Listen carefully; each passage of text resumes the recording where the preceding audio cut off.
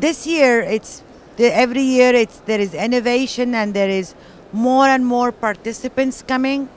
Again, it's every year newer things are um, introduced and more and more participants are being involved in this kind of uh, aesthetic procedures.